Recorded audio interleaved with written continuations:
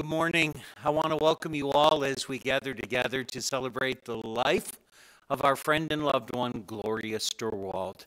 Uh, she was a, a valued friend, um, an important part of her church family, and of course, a, a rock in her own family. And um, we want uh, you to know today that you have our deepest sympathies uh, because Wendy, Tammy, Heidi, and Heather, you're going to feel this loss most of all.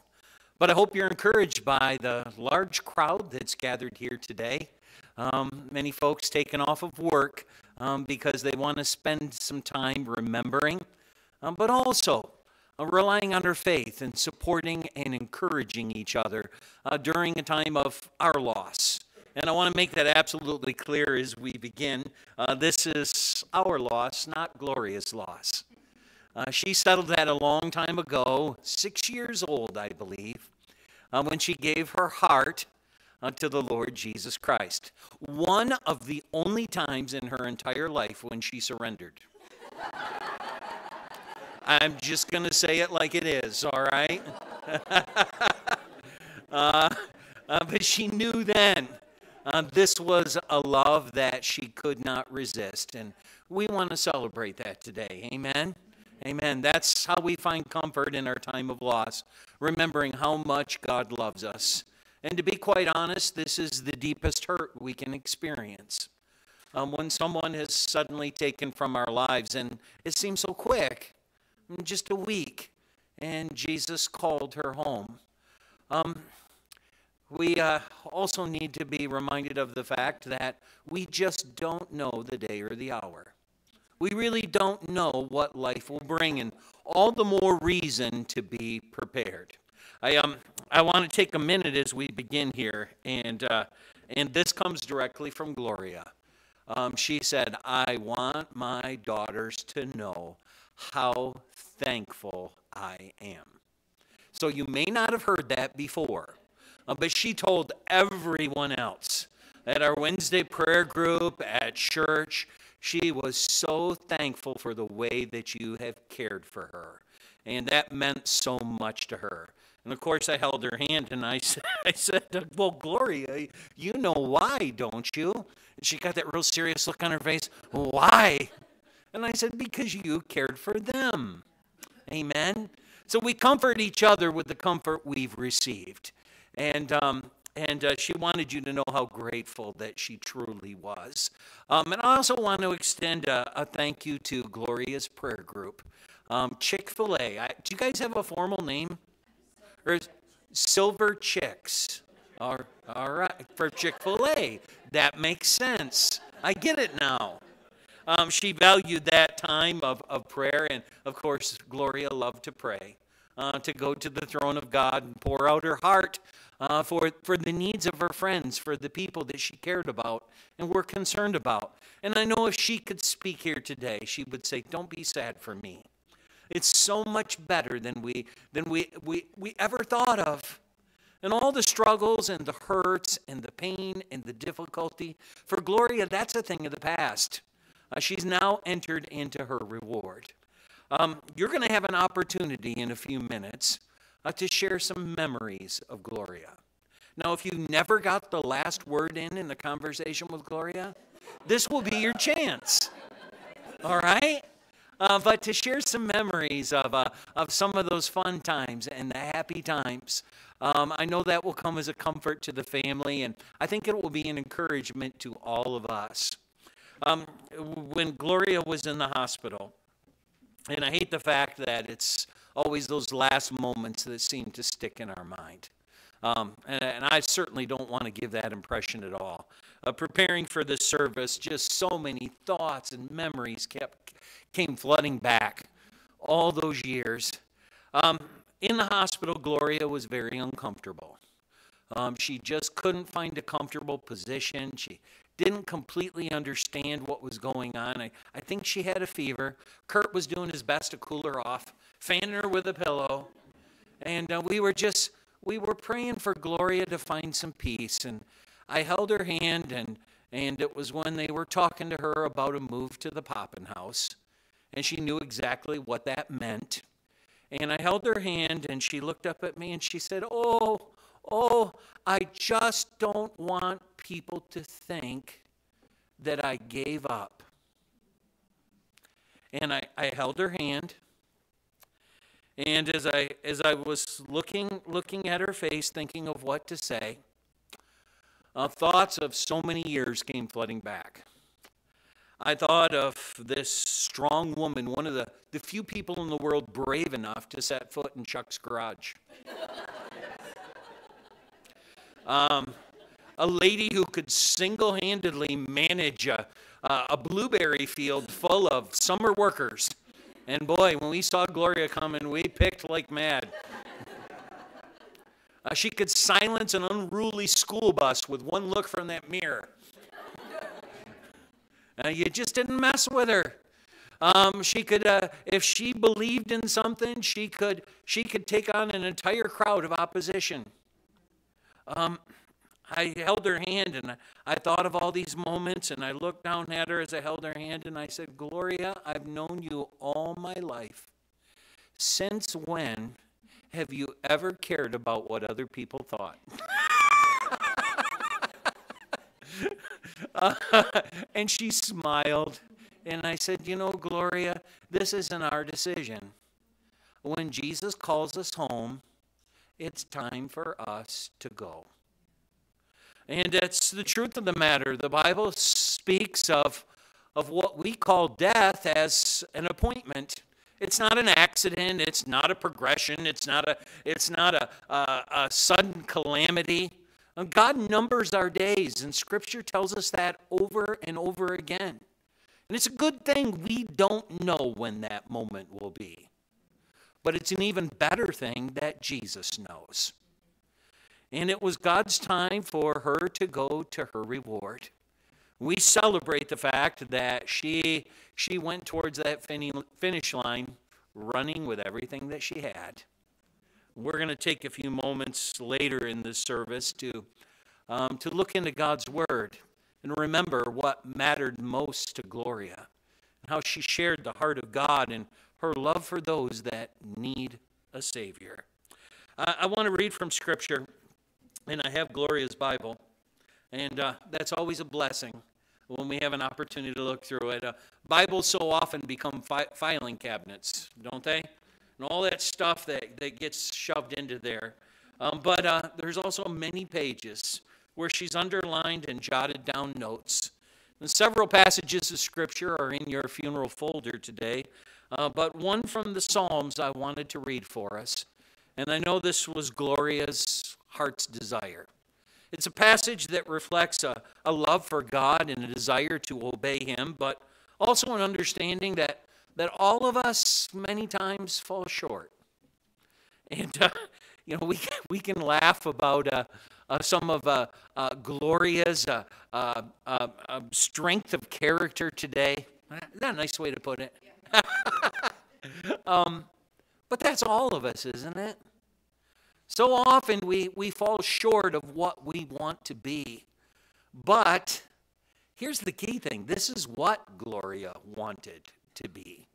And she was trusting in her Savior to help her be that person. from Psalm 19. In verse 7, the Word of God says, The law of the Lord is perfect, converting the soul. The testimony of the Lord is sure, making wise the simple. The statutes of the Lord are right, rejoicing the heart.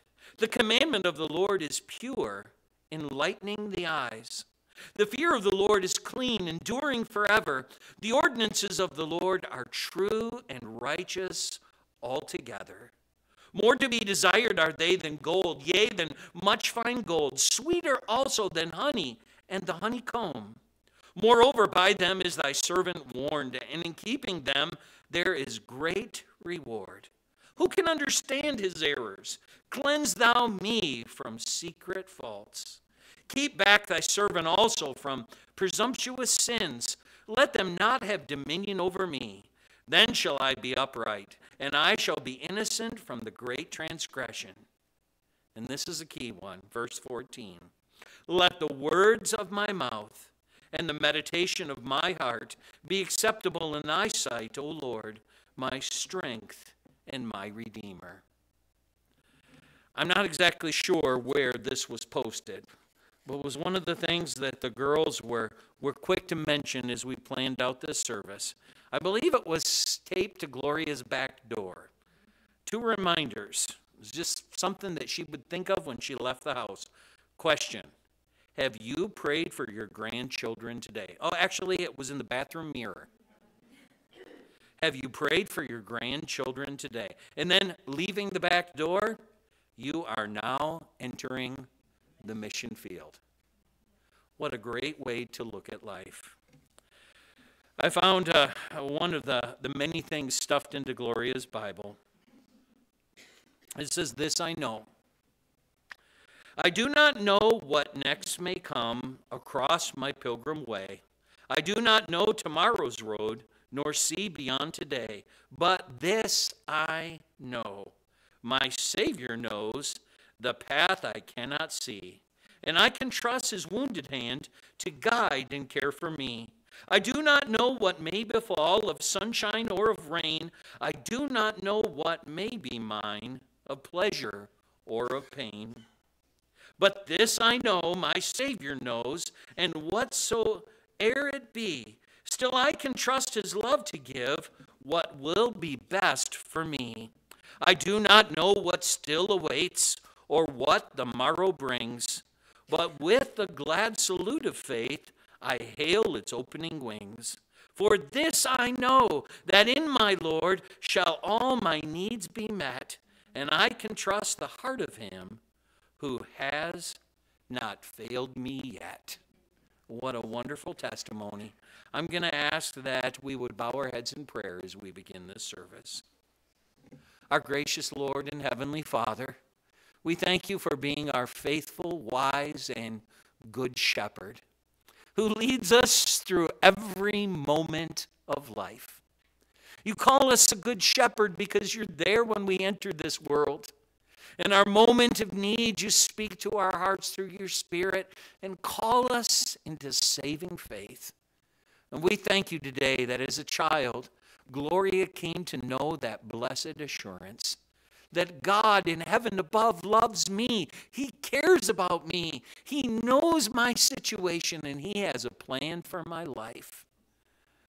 We thank you that Gloria gladly accepted that gracious offer and her life was changed at that moment. We thank you for all the precious memories that we celebrate today. And we thank you, Lord, that you've mercifully received her into her reward. For those of us gathered here today, I pray that we also would be found faithful. May you be honored and said in everything that's said and done in, in this celebration as we give you all the praise. In Jesus' name, amen. If you look to your funeral folder, you're going to find some words there uh, these are the words to some of Gloria's favorite songs. And she loved to sing these hymns, and she loved to sing them loudly. Now, I'm a preacher, not a song leader, okay? So I'm going to need your help, and we're going to sing this for Gloria. So I'm going to ask that we would stretch our legs a minute. Let's stand up, if possible. We're going to begin by singing this first song Great is Thy Faithfulness.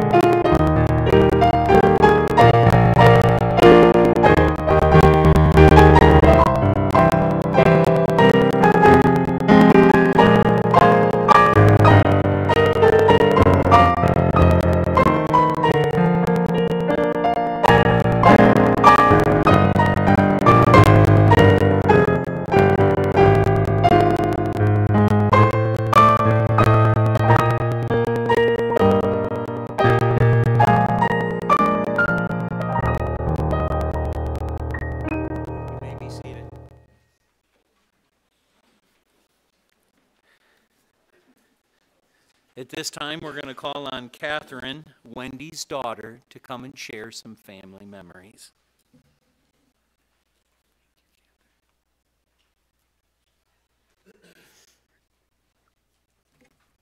Wish I could have talked before we sang. Um,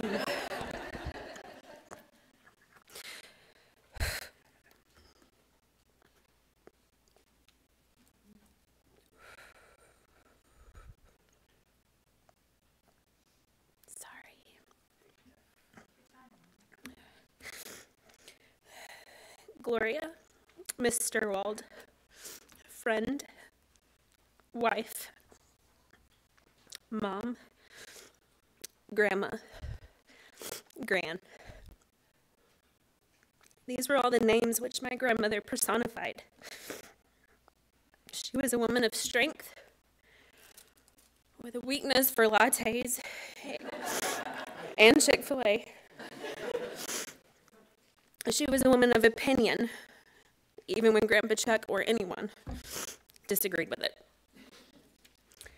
She was a woman of conviction, sprinkled with a little bit of, well, I, what do I know? She was a woman who loved with all of her might, especially Fox News. It used to be a CNN, but we all make mistakes. She was a woman of prayer, which extended states, even countries. I'm pretty sure she prayed for Princess Kate a couple weeks ago. In her journal, she wrote, I am a giver of advice. One, life is hard, but God is good. The first 50 years are the hardest. Always do what is right. Her favorite verse was 1 Thessalonians 5:18. In all circumstances give thanks, for this is the will of God for all excuse me, the will of God for you in Jesus Christ. She also said, I'm a giver of things be it a box of green themed items for St. Patty's Day, a used pair of flip flops, or two sizes too big, a bouncy ball with a UPS sticker slapped straight to the side just to see if it would make it. She also gave us a gift of song. Some songs calmed our tears when we got stung by bees. Uh, lately, though, her gift of song was very personalized for each one of you and your significant others. She also said, I'm a gifter of my time. She was always supportive in any way possible, attending numerous softball, basketball, football, soccer games, band concerts, and school events. The only exception being when it was my time during board, games. That's her turn, if you don't know. It's my time. She shared a poem in her journal, which was the most meaningful in her life, and it reads Grief never ends, but it does get better. It is a passage, not a place to stay. Grief is not a sign of weakness, nor a lack of faith. It is the price of love. When asked what spiritual legacy she wanted to leave for others, she wrote, I hope that goes, sorry, I hope that those go behind me find me faithful.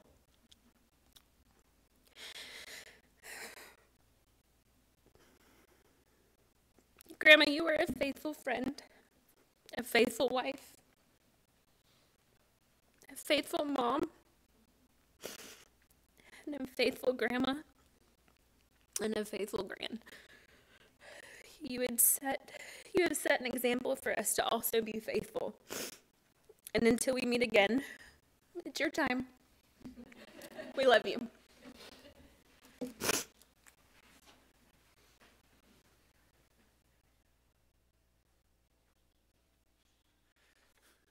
Thank you so much, Catherine.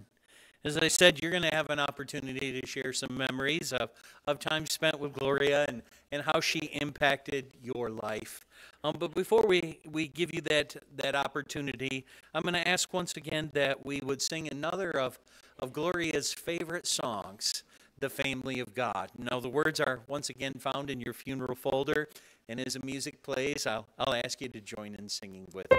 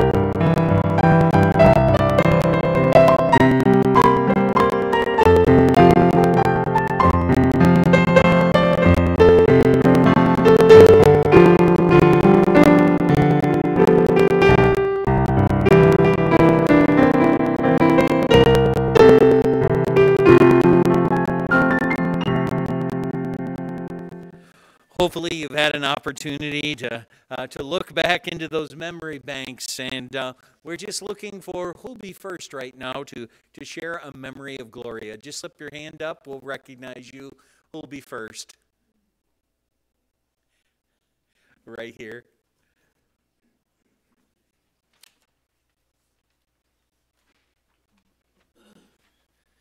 Hey, my name is Paul Bickle, and I have the beautiful privilege of being Nolan Young's best friend. Uh, and so, as I was hearing about Gloria, I've only met her once, and it was a beautiful Holy Spirit moment. And that song, The Family of God, and this note that she had as before she walked out her house, we're entering the mission field. She didn't know me, but she had a love for Nolan and she had to find out whether I was an ally or whether I was an enemy. and as I sat with Nolan's mom and Nolan and Gloria, we talked about Jesus and like how beautiful and like how beautiful is the Holy Spirit because I'm blessed to celebrate her life with you all and especially with you, Nolan. I didn't think it was going to be here, and I'm just so blessed that, like, in this moment in my life, I could come and celebrate Gloria's life. And so praise God for that, and praise God for her in heaven. And thank you for letting me be the first one to speak. Thank you. Thank you. Thank you so much. Appreciate that. Yes, in the back, you don't have to come all the way to the front. You can speak right from where you're at.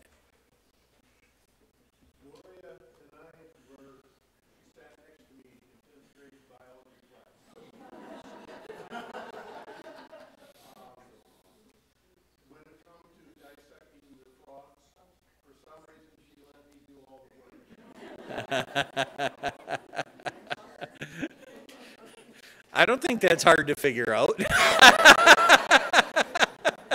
you smart.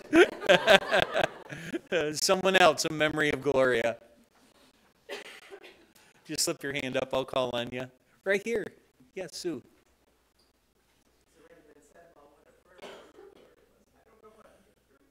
That's okay.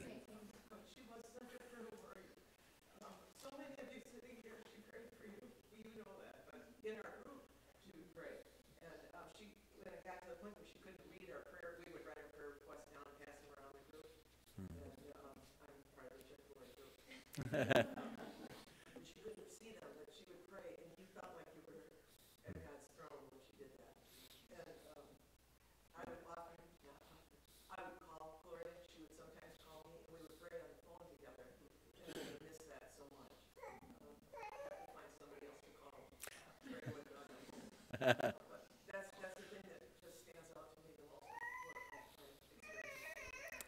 Amen. Thank you. Thank you and it's the Silver Chicks. The Silver Chicks. Okay. I'm starting to get the impression that other people called you that. You didn't call yourselves that. oh, you did. Okay. All right. uh, and Gloria would like that if you carried that ministry on with someone else. Uh, someone else, uh, memory of Gloria. Yeah, JJ. All right. Um, Glory was all those things and then some. Um, but I remember when Tam and I were newly married, we were at the house, and like it had been mentioned, if she had her mind set on something, you couldn't change it. And Tammy was talking to her mom about her wanting to accept me as a son, and she's like, "You'll never be my son." And and this bantering of back and forth, and of course, you, if you know the Steuerwalds, they're not quiet. So as I'm sitting in the living room, I can hear all of this. I'm like, I got my work cut out for me. Um, but I didn't ask her at the end because I didn't have to. But I'm sure if I were to ask her, Am I your son? she would have said yes. But if you also knew Chuck, Chuck was a bit of a card. And if you know Gloria, she is Dutch to the bone. She would stop on a busy road to pick up a can for 10 cents. Um, but she loved to shop. And we went over to the house one day, Tammy and I, and we asked Dad, you know, where's mom? And, oh, she's seen her boyfriend Clarence at Walmart. Clarence was clearance sale. And um, I think she did it with every family. She would buy, if it was on sale, even if she didn't need it, it was too good of a buy to pass it up. And it would be clothes for kids and try them on. If they don't fit, I'll take them back. Um, but that was Gloria and her boyfriend Clarence. but uh, love you, Mom. Thank you, JJ. Yes, right here in the middle. early on,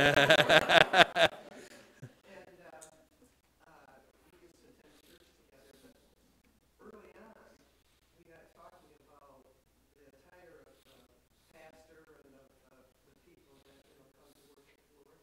And she, um, in her very firm opinion, women should wear skirts and dresses. So from then on, I wore a skirt. Oh,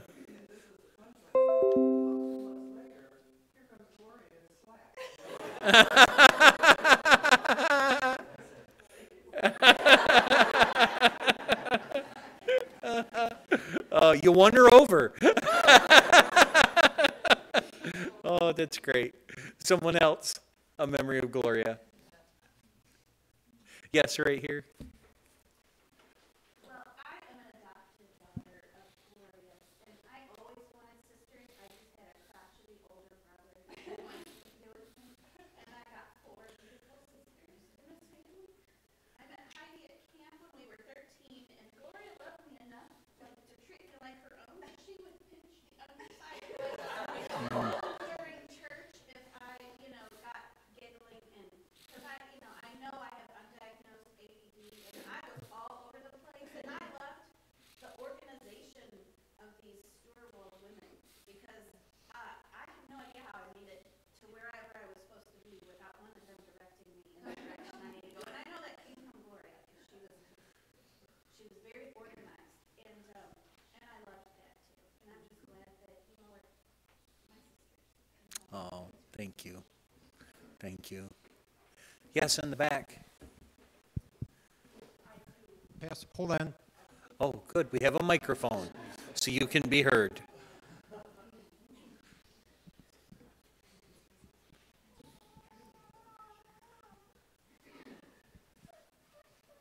I too had the privilege of meeting at Chick-fil-A with, with the ladies. Um, and we joke that um, Shelley and I are the babies of the group.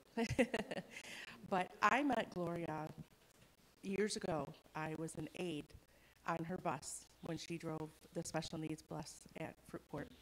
Wendy and I went way back, but then I, I met her mom.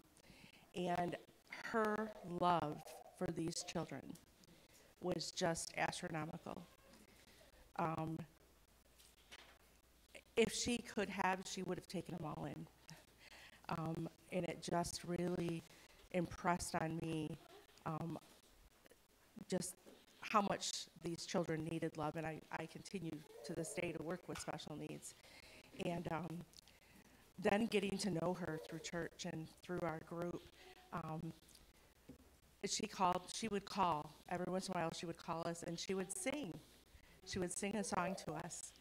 And um, I remember when I had my knee surgery, she called me and she prayed with me on the phone. And um, she will be missed. But I am so thankful that we know, because of the hope that we have in Jesus, that we will see her again someday. I love you, Gloria, and I love all of you kids. Amen. Thank you. Thank you. Yes.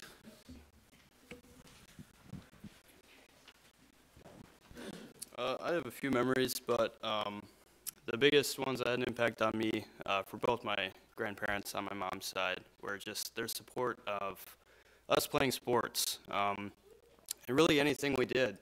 They always wanted to be there. They always wanted to watch us. They always wanted to see see us do what we like to do, and that was that was a huge encouragement. Um, and I appreciated that a lot. Um, they always made an effort to to come watch us uh, do what we like to do. Um, and so that was great.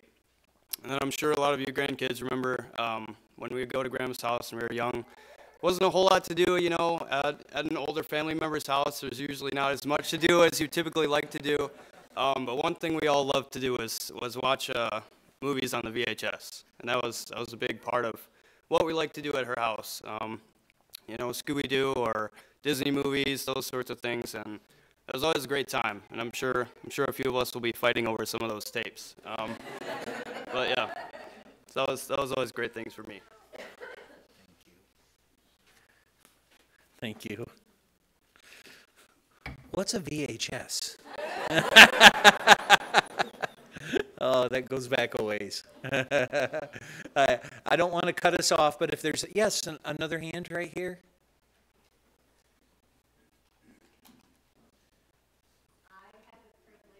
Wendy's best friend. Oh, And the interesting part about Gloria is she was very selfish about her time with her family. Hmm. So when Wendy would come up from Atlanta, I was the exception to the rule. Wendy would always say, My mom told me that I got to spend time with you.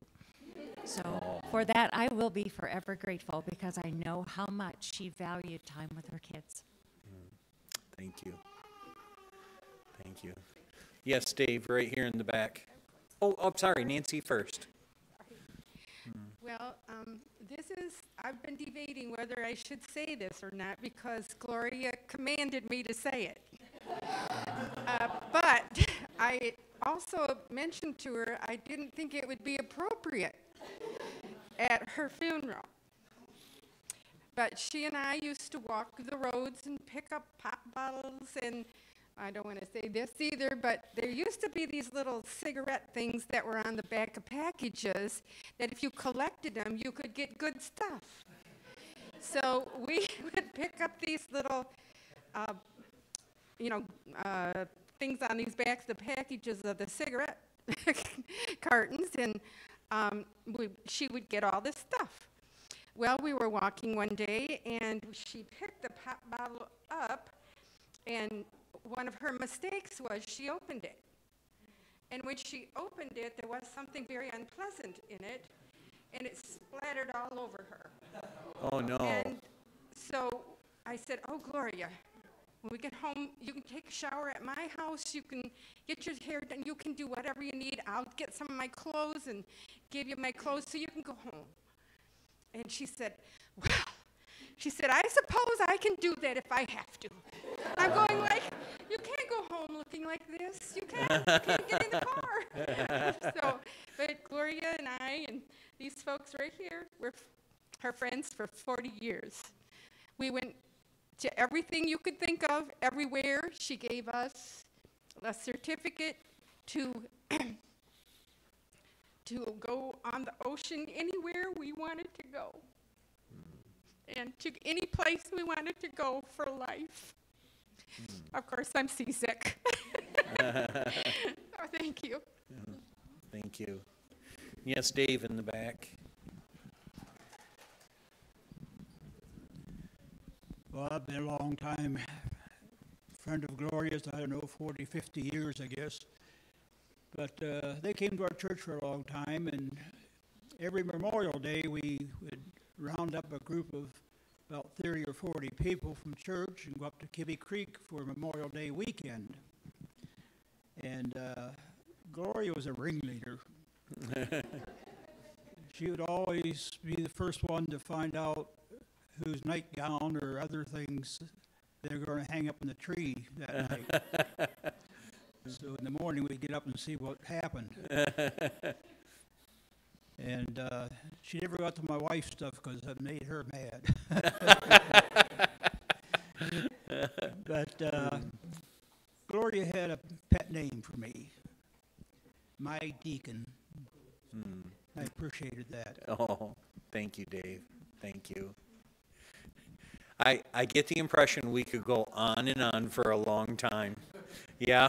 Uh, you'll have an opportunity at the luncheon after this service to share some more memories and, and to share those with the family as well.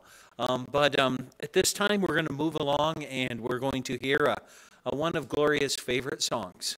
And I know we've said that a lot in this service, but this one was, was very special to her. Um, this is going to be played over the sound system, and it's, it's Find Us Faithful.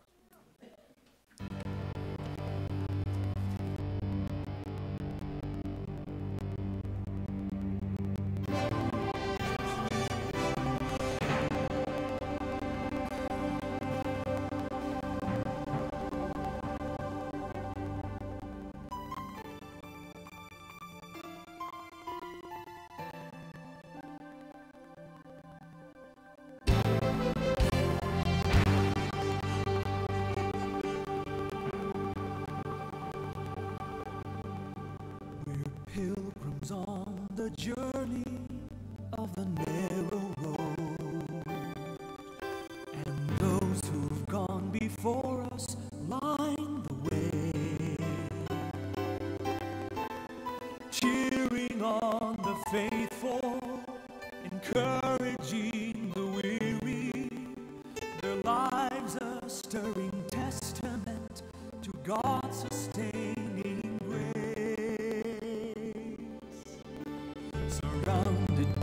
so great a cloud of witnesses. Let us run the race not only for the prize, but as though.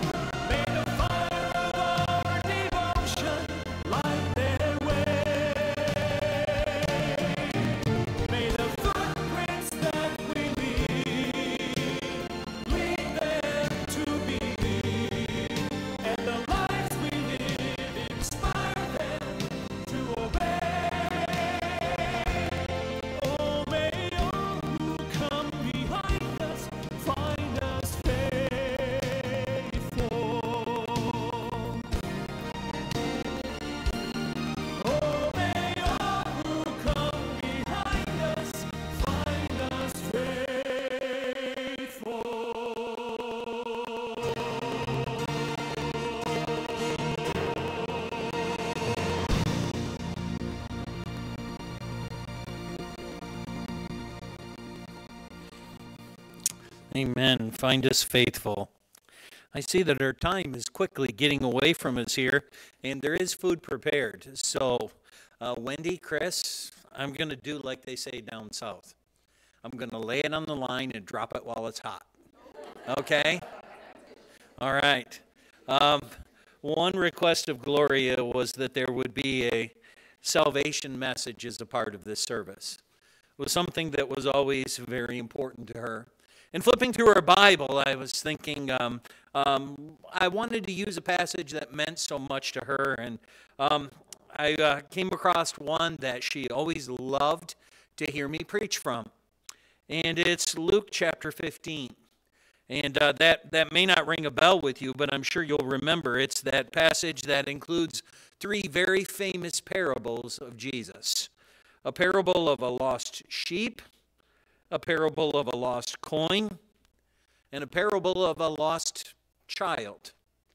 Gloria loved this series of parables, especially when we would look at them as a group. And, and um, I was always careful to point out and say, you know, in each of these parables, something of great value was lost. Something that was considered a treasure that, that, that could not be lived without. Um, a great treasure was lost, a great effort was put into finding it. So, with the lost sheep, the shepherd leaves the 99 and he goes out searching for one. With the coin, the woman's not satisfied with her other coins, which really were her dowry. She had to empty her entire house and search um, in every corner until she found that lost coin. And for the lost child, the father never, ever, ever, ever, ever gave up. No matter what happened to that kid, when he said, Dad, I want my inheritance. I'm, uh, I'm sick of you. I'm sick of your rules. I'm out of here. Basically, he said to his dad, I wish you were dead. I'm going to go live my own life. Went to a far country and wasted his inheritance. He partied till every last bit of it was gone. And then he found himself starving, literally, and had to hire himself out to, to a resident of that far country, feeding hogs. And so destitute was he that he was longing to be able to eat the hog feed. And it was at that moment of desperation when he hit rock bottom. And uh, we, we love this passage of Scripture, and I know it's one that always brought a tear to Gloria's eyes. When he came to his senses. Now, ladies, it's not just men that have this problem, it's all of us, right? we can rightly say this is the story of a lost child because it describes all of us. When he came to his senses, he said, I will arise and go back to my father's house. Isn't that a great passage? No wonder Gloria loved it. I will arise and go back to my father's house and and he had all of these, these uh, uh, doubts as to how he would be received because he knew the depth of his sin. He knew how, how rebellious and hurtful he'd been. Turning his back on his family, on his father, who cared for him and loved him in the fullest extent possible.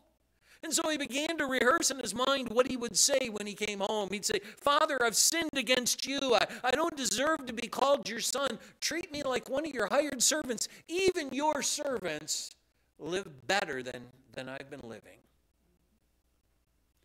And so we set out on that road back home, probably rehearsing this over and over in his mind. And the scriptures tell us when he was yet a long way off. His father saw him and ran to meet him. Gloria would love it when we would talk about this part. Well, how did he see him when he was a long way off? right? Well, there's a simple answer to that because he went to the same spot every day and looked for him. Every day he was hoping this will be the day that he comes home. This will be the day that my son will be returned to me. My lost child. I can imagine this father. He put his son's picture on every milk carton in the country. Billboards. Have you seen my child? He kept thinking, somebody will have seen him, somebody will know, somebody will contact me. Or maybe my son himself is out there and he'll realize how much I love him and he'll return home. And so every day he was looking for him. And when he saw him a long way off, this figure in the distance, shambling down the road, he looked and said, That's my boy and he ran to meet him. Now, I know we talk about this passage in church. It's, it's one of those famous passages, and, and we do that because we want to emphasize how often we are like that boy, each and every one of us. And there's some truth to that. But there was another reason why Gloria loved this passage because it speaks of the boundless, limitless, unending love of God for the one that nobody else cared about. Most people say, well, 99 out of 100 ain't bad. You can get by with that. Who cares about that one sheep? You know, it's always getting into trouble, it's always lost. You know, who cares about that, that kid? He got what he deserved. Gloria was always quick to remind us we never give up on somebody. She always wanted to champion that lost cause. There were people on her prayer list we had never even heard of. I don't think she even knew who they were. But they were lost. And preachers often ask in the course of their sermons these rhetorical questions. We throw them out there to keep people involved. You've heard this, you know. I remember in the course of teaching this, asked the question, well, well, when do we give up on somebody? How, how far do we go to win them? And Gloria gave me this look. You know how she does. She was like, Well, it's obvious, isn't it? You never give up. You go as far as you need to go. Gloria's Bible is filled with gospel tracts. They're stuffed in here. I can't even close it. It's like a tract for every occasion. Uh, somebody struggling with loss of a loved one, there's a tract for that. Somebody wasted their life in addiction, tract for that. Somebody believed a lie, some false religious group, there's a tract for each and every one of those because she wanted to be ready to help them. Never gave up. It's been shared during the testimony time um, how Gloria was a part of the Bethel family. And it's somewhat strange I stand here as her pastor because she probably changed my diapers in the nursery years ago. Heidi and I used to go for stroller rides together. Okay? Uh, how did she end up at Bethel? Well, years and years ago, they had been visiting different churches, Chuck and Gloria, trying to find a place where they could go together. And having attended Bethel a few times, they were invited to an, uh, uh, a couple's uh, uh, game night over at the Bond House. Bunny might even remember this. You guys were outside in the backyard at the house on Poulin Road. Now, this is a story as it's related to me. They were playing some sort of game. It was like a duck, duck, goose for grown ups. Imagine that, all right? So anyhow, when a, when a couple was chosen, they had to race around the circle and then find their seat again. I'm not sure how people were eliminated, but the way the story is told to me, Chuck ran around that circle so fast, Gloria's feet didn't touch the ground. and people were rolling with laughter. So I loved that, that memory of sporting events. Um, that's an understatement. Chuck and Gloria supporting your athletics. I remember playing softball with Chuck. You'd be as far away from him as I am from you, and he'd throw the ball like you were in the next state. Chuck, I'm right here. um, Chuck said on that day, and he often looked back on this, he said, I never knew Christians could have so much fun. And they made the decision that Bethel was the place for them.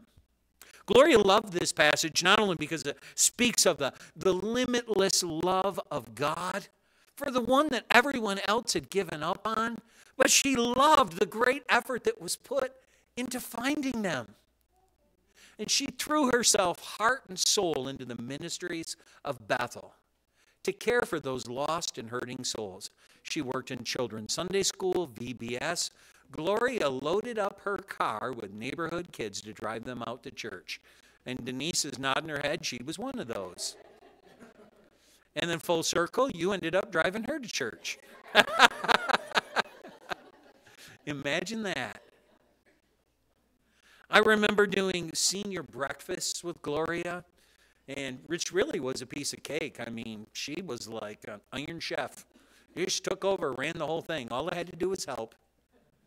Did all those things because she wanted to see souls come to know the joy of the love of God. And I'm sure this is no secret to you. As much as she cared about those people out there, people she didn't even know, what she wanted most of all was for you to know the joy of God's love. And she prayed for it all the time. She didn't need a reminder on her bathroom mirror. She didn't. And she encouraged us to pray as well.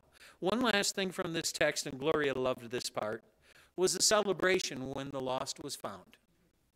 It says in, in Luke 15, and she has this underlined in the Bible. It, it says, Jesus speaking, he said, I say unto you that like, likewise joy shall be in heaven over one sinner that repenteth, more than over the 99 righteous persons who need no repentance. That doesn't mean that God isn't happy when we're a part of his family and we walk with him. It's there to emphasize that God never gives up. He's not happy until all of his children are tucked in safe. And when they come home, when he meets that child on the road, he throws a celebration. He puts a robe on our back, clean and white as snow. He throws a great big party. Everyone's invited, and they celebrate. In the same passage, it goes on to say, Likewise, I say unto you, there is joy in the presence of the angels of God over one sinner that repenteth.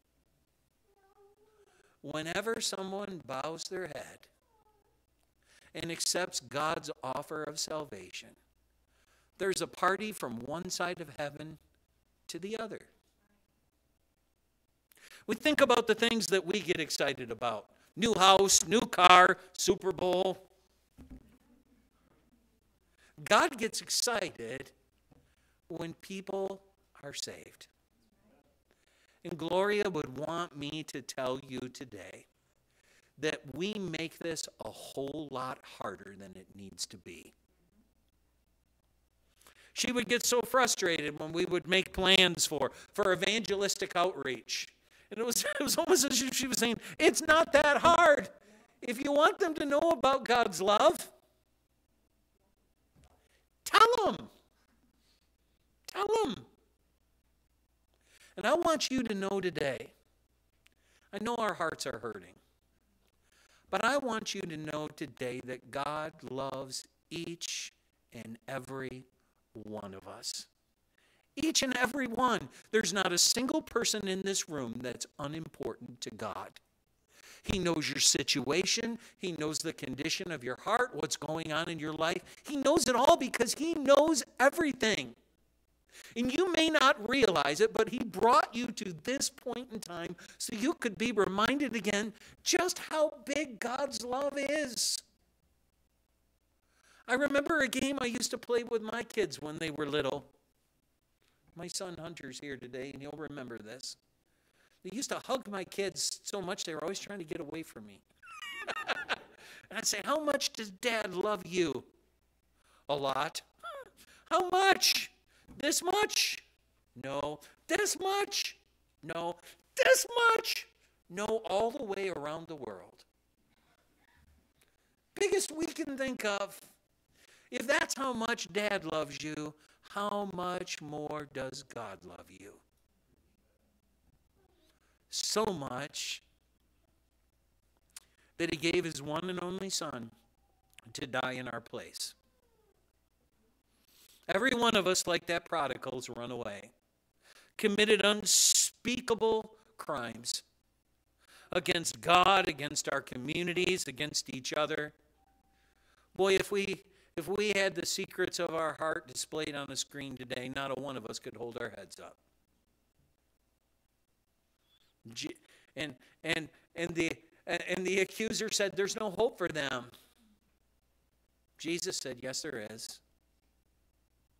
I'll die in their place. I'll pay their penalty so that they can be saved." And if you've never come to know that love of God today, I want you to know it doesn't matter how many church services you've gone to, how much money you've given, how many organizations you're a part of, how many charity works you're involved in, how many good deeds you've done. A whole mountain of good deeds cannot erase one offense. What's done is done. We need a righteousness beyond that that only Jesus can supply. Gloria would want you to know that this salvation can be yours the same way she found it. And that was by graciously accepting what God had to offer. I did a little research, six years old. Apparently, apparently, Gloria's family lived near the Pilgrim Holiness Church. And it was downtown Catherine and Irwin. And um, as I understand it from talking to Karen Gale, um, Gloria had gone to uh, one of those five day clubs that Child Evangelism Fellowship used to host. And it was in the home of Rose Whirl, uh, Karen's mother. And it was there that Gloria accepted Christ as her Savior. And in her journal, she wrote that um, her mother, previous to this, had shared with her God's love, but, but that was where she gave her heart to Jesus. And, and, and she confirmed that by going forward in that church. They had an altar in those days. And they went forward and they knelt and prayed God, I humbly accept what you've lovingly done for me.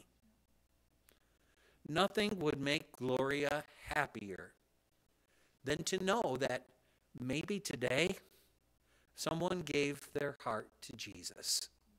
And you can accept that invitation by simply praying right now Jesus, save me. I trust in you. Now, here's the difference it makes. If you think there's a celebration, if you can kind of grasp how excited the angels get when one soul is saved, imagine what it's like when one of God's children crosses the finish line. Imagine Gloria on the sidelines at one of your sporting events as you're rounding third headed for home. Gloria's on her feet, waving her arms, knocking over people next to her. The book of Hebrews describes it as a great cloud of witnesses. All those saints that have gone on before. We think about those we know from the scriptures. Peter's there, and John, and, and Mary, and, and we look back to the Old Testament, and Ruth is there, and, and uh, uh, uh, Rebecca, and, and, and Sarah, and, and uh, uh, Eve is somewhere in that crowd. And they're all cheering our relatives from, from generations past, our, our parents, our grandparents, those who've known and trusted in the Lord, they're in the stands as we're running towards the finish line and they're screaming, Come on, go for it. Don't stop now, don't give up. I want to include this as well for us because it's definitely a part of what Jesus is teaching here. If, like Gloria, you've accepted that offer of salvation God makes to, to everyone, then don't give up. Don't get sidetracked. This is not the time to say, well, I'm too sad to keep following the Lord. I'm, I, I've lost hope. That's not the message Gloria would like you to walk away with today, especially to her children. She'd like to, you to think of her as faithful, but more importantly, she'd like you to carry the faith, to keep the faith, to fight the good fight, and finish the course. We're going to close in a word of prayer. But during this prayer, um, I'm also going to say thanks for the food. Um, so we won't have to stop again when you're dismissed. There's a luncheon prepared, and everyone's invited to, to join join the family in, in that, that time of food and fellowship. Okay? But we're also going to pray what we call a prayer of committal. It's kind of this formal thing where we say goodbye, where we're committing Gloria to God's care till we see her again. But it's also a prayer of commitment for us. And I think Gloria would love this part. As I pray, I'd encourage you to pray with me. I'm going to be committed to following that course. And then we'll close with a final song when we all get to heaven. I'm going to ask that we'd stand right now. As we stand, if we could bow our heads in prayer. Our gracious God, we thank you for all these memories that we've treasured in our hearts, all these good times, and there are so many. Lord, thank you for these blessings, for the, for the joy we've shared, uh, uh, not only as friends, but as brothers and sisters in Christ. Thank you for giving Chuck and Gloria to each other and blessing them with such a wonderful family. Thank you for, for the years where they've had to watch that family grow. Lord, we pray now that they would share the faith that Gloria knew, that they would keep this faith and be committed to it and carry on. And for each and every one of us, Lord, as we give Gloria back to you, we give ourselves to you. Use us that some soul might find hope, that some lost one might be welcomed home. May we always be ready, as Gloria said, you are now entering the mission field. There are folks in need. Lord, give us opportunities to help them. And may that joy of celebration for glorious victory begin even now as we go to share a meal together with grateful hearts, asking all of this in Jesus' name. Amen. Please remain standing while we sing this last hymn in celebration when we all get to heaven.